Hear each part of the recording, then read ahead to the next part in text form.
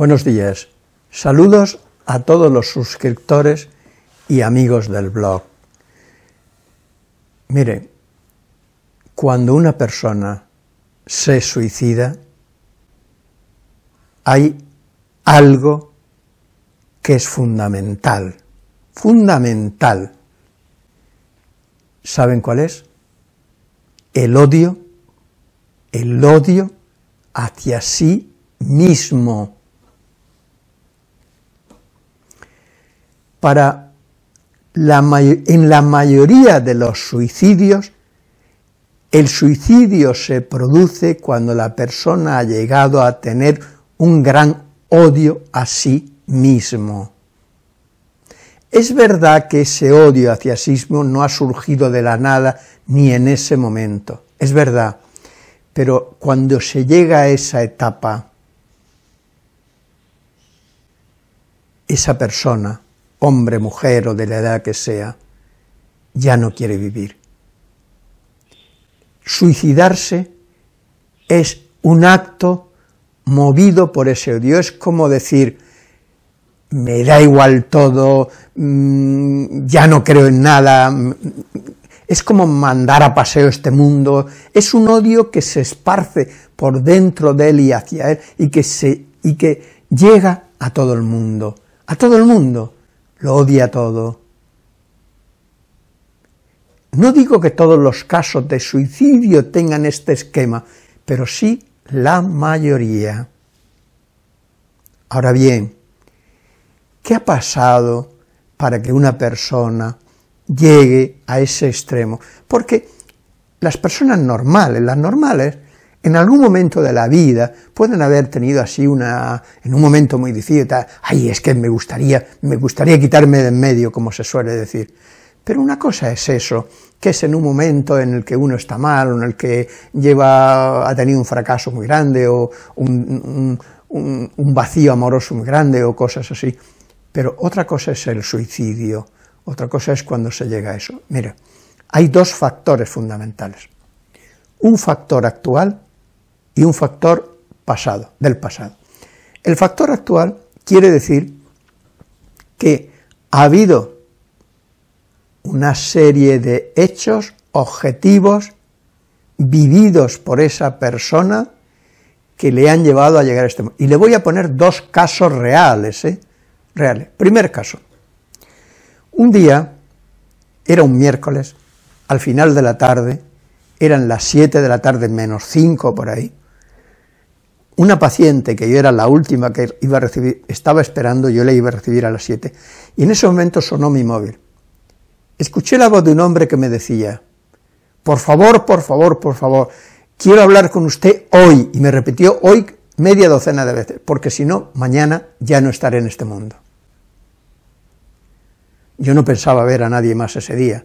Lo recibí a las ocho.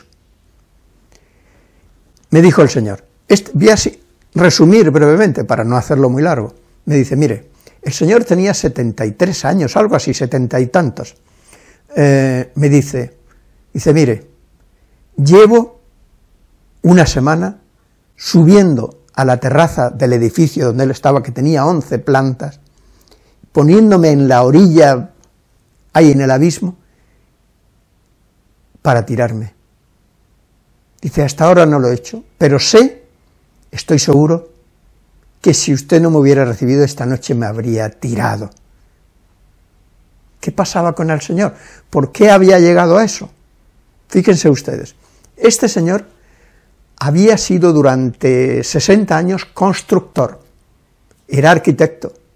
Ojo, era arquitecto, no era... ¿eh? tenía dinero, había tenido éxito, había tenido una empresa que había funcionado bien, cuando se jubiló la vendió a otra empresa mayor, pero su empresa era buena, era grande, la había vendido a una multinacional, porque, bueno, porque ya se jubilaba. ¿Qué pasó? Poco antes de jubilarse, se divorció. Después conoció a una chica más joven que él con la que estuvo un tiempo de relaciones. La chica le abandonó Dejó su empresa, pero su empresa era para él una fuente de satisfacciones. Él disfrutaba creando proyectos. Disfrutaba viendo emerger desde la nada un edificio, proyectándolo, eh, ejecutándolo sobre el papel, buscando el sitio, buscando el, qué lugar había iba a construir, eh, construyendo la forma, el, diseño de ese edificio. Eso le hacía vivir, le hacía disfrutar, le hacía gozar. Tenía relación con mucha gente, tenía muchos trabajadores, era una empresa importante. Hablaba con unos, hablaba de otros, con, otros arquitectos, con otros aparejadores, con los jefes de obras, con los albañiles, iba por allí, tal, cual, cual, ¿no? Todo eso cesó. Él creía que se iba a sentir muy feliz, porque también tenía sueños, tenía un yate, y, y también decía, bueno, pues miré con mi yate de aquí para allá y visitaré y no sé qué y no sé cuánto. Pero no pasó nada de eso. Empezó poco a poco, muy lentamente, a sentirse triste, a sentirse vacío. Se fue desconectando de muchas cosas, desconectando. Hoy no, voy a esto, mañana no voy a aquello, mañana no hablo con aquel, ahora no tengo ganas, estoy cansado, estoy... Hasta que llegó un momento en que se sintió solo, completamente solo. En su casa, tenía una casa espléndida, tenía una casa espléndida, no le faltaba una casa que, valdría, que valía un montón de miles de euros, porque la, había diseñado él, era en un, en un, edificio que él había construido y había, se había hecho su propia casa dentro de ese edificio.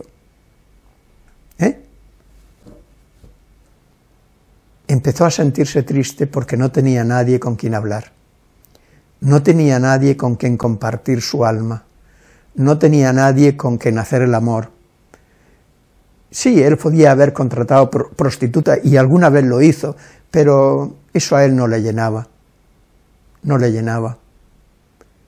Eh, la chica con la que había estado últimamente, que, él, que era una chica para él, que era muy hermosa y muy bella, la chica le dejó y además le dejó por otro, y él conocía además a ese otro, empezó, como digo, a desconectar. Y fruto de esa desconexión empezó a sentirse vacío, triste, solo, y diciendo, ¿y qué hago yo en este mundo ya? ¿Qué hago aquí? Pues me tiro, me tiro y se acabó todo. Se acabó, y se acabó, y se acabó. Esos, lo que les estoy diciendo, son, en síntesis, porque hay más cosas, son los acontecimientos actuales que generaron su deseo de suicidarse. Pero no era solo eso. Cuando yo, porque yo inicié una terapia con aquel señor y la terapia le salvó del suicidio, ya el hecho de recibirle esa, esa tarde, él me dio las gracias, no se puede ni imaginar cuántas veces. Me quería pagar mucho más de lo que yo le dije, mucho más. Era un señor, como digo, que tenía bastante dinero. Yo le dije, no, usted me paga mis honorarios y punto. Bueno, este señor, ¿qué había pasado? Mire, muy jovencito, muy jovencito, creo que eran los cuatro, cinco, su madre murió, murió de cáncer. Se quedó más solo que la uno porque tenía una relación buena con su madre, pero su padre era un déspota, su padre era un déspota, era violento, era agresivo, era un déspota, le tenía un odio que solo con verlo se le venían todos los diablos encima. Eso creó en su alma un odio que nunca pudo sacar, que nunca pudo expresar, que lo llevaba ahí en su inconsciente construyendo todo un mundo. Con ese odio construía todo un mundo interior. Y es verdad que ese odio quedó ahí reprimido porque tuvo la suerte de que su familia también era familia de dinero, hacer una carrera que a él le gustaba, le gustaba la arquitectura y tener éxito porque como tenía su familia bastante dinero, pudo invertir en, esa empresa todo el dinero que necesitaba para construir la empresa que fue su empresa. Todo esto enmascaró, enmascaró, ocultó en su inconsciente todo ese mundo de desamor que había sentido por la muerte de su madre y porque cuando su madre murió se le vino el mundo encima, porque era el apoyo que él tenía era con quien compartía su ilusión, su cariño, su amor, su beso, su abrazo, le hablaba, iba con su madre, iba a todas partes, etc. Pero con su padre no. Tenía solo hacia él odio. Y cuando se jubiló, ese odio que estaba en su inconsciente y que lo que hay en el inconsciente siempre retorna de alguna manera y, nos, y, se presenta y se, se, disfraza y se presenta en nuestros pensamientos, en nuestros sentimientos, en nuestras acciones, ese odio empezó a aparecer. ¿Y cómo empezó? Empezó a aparecer con un odio hacia sí mismo. Ese odio empezó a dirigirlo hacia sí mismo como diciendo, como si ese odio fuera emergiendo y le dijera, va, fíjate, no tienen ni mujer, no tienen, no ni mujer, tu mujer está divorciado, la mujer, esta chica que tanto querías, te ha, te ha dado una patada, eh, ya no tienes contacto con casi nadie, estás aquí más solo que la una, eh, y entonces empezó a atacarse a sí mismo, empezó a reprocharse a sí mismo, empezó a decirse, eres una mierda, no vales para nada, al final has fracasado, sí, has tenido mucho éxito, pero al final fíjate lo que has fracasado. Y todo el odio que había en su inconsciente empezó a dirigirlo sobre sí, primero a través de reproches, a través de ataques, y luego, a partir de un cierto momento, ya empezó a plantear la idea del suicidio. ¿Eh? Y ahí tenemos un ejemplo de suicidio. Les pondré otro ejemplo. Un buen día, mm, unos, bueno, un señor, también un señor, me llama y me dice que si podían darle una hora para el día siguiente porque su hija, una adolescente, había intentado suicidarse. Había intentado, y además cerca de aquí, de donde yo les estoy grabando, en un, cerca de aquí de este, de este lugar. Eh, se había subido al séptimo piso, se puso en el alero y me tiro, me tiro, me tiro, me tiro. Eh, Tuvieron la suerte, tuvieron la suerte de que andaba por allí cerca del barrio un retén de la policía, de estos que, bueno, pues que se dedican a esto, a este tipo de, casos, y, subió enseguida. Eh, y claro, esta gente, entre ellos hay gente que ha estudiado psicología y que ha estudiado para ver cómo evitar estos casos. Y tuvieron la suerte, quizá porque la chica tampoco estaba decidida del todo a dar ese salto. Tenía 15 años. Entonces lograron cogerla, cogerla y que no se tirara, que no se tirara. ¿Qué pasaba con esta chica? Porque una chica de 15 años, caramba, 15 años, quiere quitarse la vida? Pues mire, el motivo presente, actual, de ese momento fue el siguiente. La chica iba a un instituto que estaba haciendo lo que ahora se llama aquí en España la EXO, la ESO. Estaba, creo que en el último curso, uno de los últimos cursos, en tercero, en cuarto, no me acuerdo bien. Bien. Se había enamorado de un chico. Estaba enamorada, loca, perdida por ese chico. Vamos, hubiera dado la vida por ese chico. Y, estaban juntos y incluso, incluso siendo tan jovencitos, aprovechaban que no hubiera nadie en casa para ir y acostarse juntos y todo. Estaba loquita por ese chico. Loquita, loquita, loquita, pero loco, loca perdía. Pero ¿saben ustedes qué pasó? Que un día iba por la calle tan tranquila y de pronto, a lo lejos, ve que su chico está con otra chica, otra compañera suya, compañera del chico y de ella. Buah. Buah. Le dio el alma un vuelco que se habría pegado un tiro en ese momento, se habría roto la cabeza contra la pared de la rabia que sintió en ese momento. Lo habría matado, lo habría apuñalado. Así me lo decía la chica, que después la tuve en terapia. Lo habría apuñalado, lo habría matado. Porque eso de descubrirlo, abrazado a otra chica, porque lo vio abrazarse, estaban allí besándose, estaban tocándose, estaban... Y entonces la chica me decía, me decía, pero ¿cómo es posible si el chico me decía a mí que me quería mucho, si el chico me decía a mí que yo era la chica de su vida, si el chico me decía a mí que daría la vida por mí, si el chico me decía, me decía, me decía, me decía... Qué canalla este chico, ¿no? Qué canalla, ¿no? Qué canalla creer e, crear en esa mujer, en esa niña casi, tanta ilusión para luego deshacerla en un momento. Porque No tenía que haber hecho, podría haberle dicho, oye, mira, ya no quiero seguir contigo, podría haberlo hecho, lo vamos a dejar porque, porque soy muy joven y tal y cual. No, podía haber hecho otra cosa, pero no, lo hizo de la peor manera posible. Esto fue el motivo actual, presente. Pero la chica también había tenido un pasado funesto. Sus padres eran buenas personas. Podríamos decir, así, la palabra sería buenas personas. Pero no tenían ninguna capacidad como padres.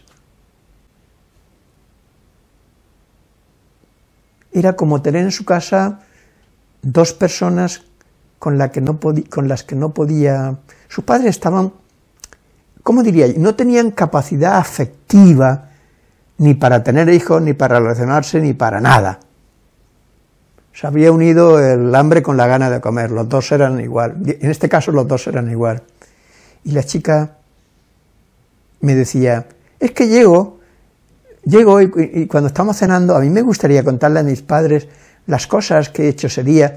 Dice, pero a veces me pongo a escucharla y mi padre se levanta y dice, me voy a, me voy a fumar un cigarro. Y me deja con la palabra en la boca. Y mi madre eh, me dice, voy a fregar los platos. Dice yo que tengo ganas de hablar con ellos de lo que me ha pasado durante el día, de comunicarme con ellos, de compartir con ellos. No puedo hacerlo. Dice, y como le ocurría al otro señor, se sentía sola. Sola, sola tan jovencita pero sola. Y empezó, era una chica así reflexiva, empezó a plantearse problemas. Bueno, ¿y para qué es la vida? ¿Para qué quiero? Empezó a crearse empezó de una forma, empezó a tener una mente filosófica. ¿Qué sentido tiene la vida? ¿Para qué sirve la vida? Total. Ahora voy a estudiar y después no sé qué, eh, tal, y todo, todo hay una, una, rutina, no sé qué. Empezó a plantearse problemas existenciales de una forma muy, muy negativa, muy pesimista, muy, muy mal. Y empezó como, como este otro señor a aislarse, a sentirse mal, a, a no disfrutar de la vida, hasta que esto se hizo inaguantable, producía un dolor enorme. Y llegó ese momento en el que dijo, pues me quito de en medio, y se acabó todo este sufrimiento, porque ya sentía verdadero odio hacia sí misma yo ya soy una mierda, no merezco nada, eh, todo me sale mal, eh, no me quiere nadie. Eh, empezó a odiar a todo el mundo de fuera y a odiarse profundamente a sí mismo, que también le pasaba a este otro señor. Y dijo, esto lo acabo yo, ya no puedo soportar tanto sufrimiento, ¿para qué vivo si solo sufro todo el día? Vean ustedes cómo pueden haber acontecimientos actuales que generen en nosotros estados de ánimo muy, con mucho sufrimiento, con mucha tristeza, con mucha soledad, con mucha depresión, con mucha rabia. ¿Qué pasa? Que si nuestra mente, si no tenemos la capacidad mental, si no se ha construido en nosotros un edificio, es decir, una capacidad de pensar, de sentir, de elaborar, de analizar las cosas, pues todo eso se va haciendo cada vez un montón ahí, un montón dentro de nosotros, una pelota cada vez más dura y más aglutinada ahí, y llega un momento en que eso explota, explota, explota, porque nadie se suicida porque es muy feliz, Nadie se suicida porque tiene muy buenos amigos, muy buenos padres, muy buenos compañeros, muy buena mujer o muy buen marido o muy buenos hijos. Nadie se suicida porque tiene un trabajo donde realiza su vocación, donde tiene gran pasión, donde, donde está a gusto, donde está investigando algo que le interesa o donde lo que sea es un buen médico, un buen comercial, un buen mecánico, un buen lo que sea, y disfruta de su trabajo y de lo que hace diariamente porque está realizando su vocación. Nadie se suicida por eso.